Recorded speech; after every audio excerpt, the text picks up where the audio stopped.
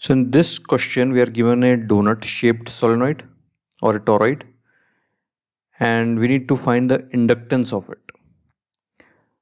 So inside radius is given as B and also the cross section is square with side length of A. So again if we pass some current into it, we expect that some flux will pass through inside the solenoid.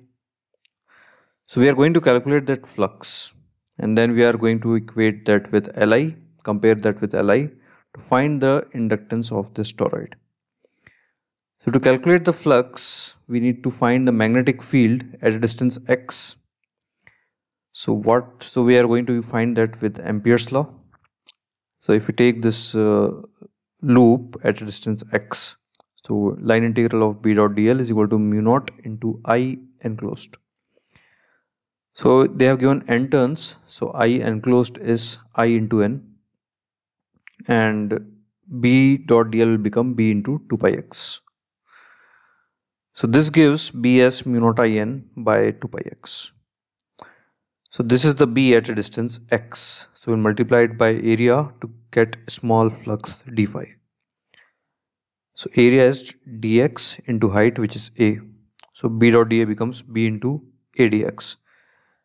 So that will be in one turn. But we have n turns. So through n loops, the total flux crossing will be b into adx into n. So now total flux we need to calculate through the entire region.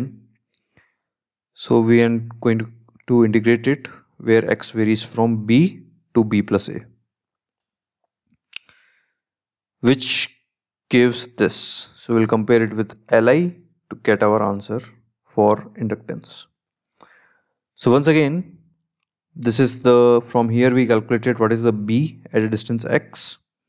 From here we calculated what is the flux passing through n loops via one strip. Then we did flux through n loops via all the strips. So let me just write it. So let me just simply write it as total flux. So total flux obviously via n loops and obviously via entire region is by integrating d phi we get our answer